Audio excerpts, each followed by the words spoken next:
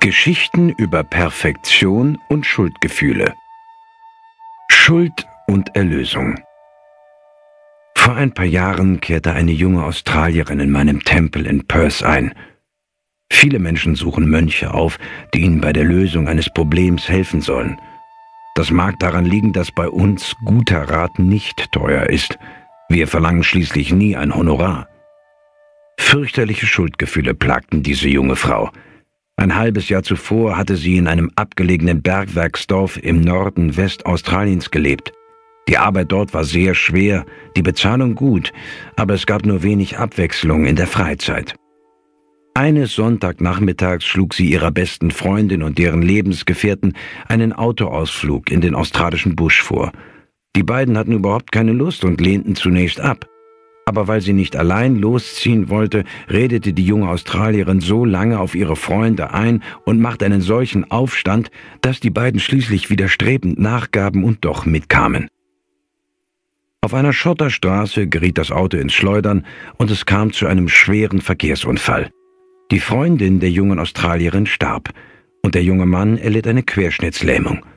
Die Frau, die die beiden anderen zu diesem Ausflug überredet hatte, blieb unverletzt Tief traurig erzählte sie mir diese Geschichte. Hätte ich sie bloß nicht so zu diesem Ausflug gedrängt, dann würde meine Freundin noch leben und die Beine ihres Mannes wären in Ordnung. Wie furchtbar, dass ich die beiden zum Mitkommen überredet habe. Ich fühle mich entsetzlich schuldig. Als erstes kam mir in den Sinn, ihr zu versichern, dass es nicht ihre Schuld war. Sie hatte den Unfall nicht geplant und nicht beabsichtigt, ihren Freunden Schaden zuzufügen. So etwas kann passieren. Da muss man loslassen und sich von Schuldgefühlen verabschieden. Doch dann überlegte ich, wie oft diese junge Frau solche Beteuerungen schon gehört haben musste, vielleicht hunderte von Malen. Das hatte offensichtlich nichts bewirkt. Also hielt ich inne, überdachte ihre Situation noch einmal und erklärte dann, es sei völlig in Ordnung, wenn sie sich schuldig fühle. Ihr Gesichtsausdruck wandelte sich. Die Trauer machte Überraschung Platz. Danach zeichnete sich Erleichterung ab. Es war ihr neu, dass sie sich tatsächlich schuldig fühlen durfte.